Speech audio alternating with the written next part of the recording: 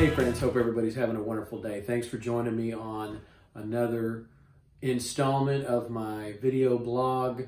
Today in the practice, I'm going to be touching on tips that you need to be thinking about this Tuesday, which are in regard to scams that might be that might be targeted to you, more more likely to a loved one, and anyone who's either in a financially depressed situation or in a situation where they're maybe elderly or disabled and they may be susceptible to some financial pressure that could put them at risk for for being scammed.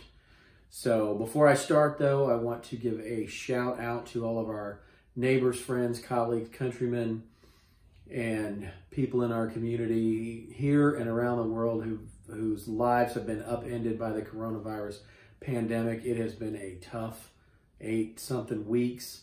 A lot of economies are struggling and if not collapsed. A lot of people have been furloughed and we want you all to know that we are thinking about you, that our hearts are with you, that we are sending positive prayers and sentiments your way to lift you all up. I'm going to jump into things you can do to protect yourself next, but thank you again for joining me.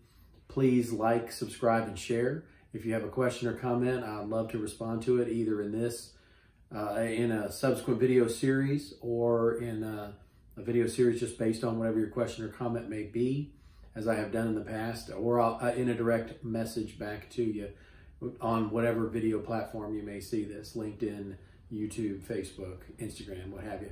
Thank you again for joining. And without further ado, I'm going to talk about tips that you can use to protect yourselves or a loved one against scammers.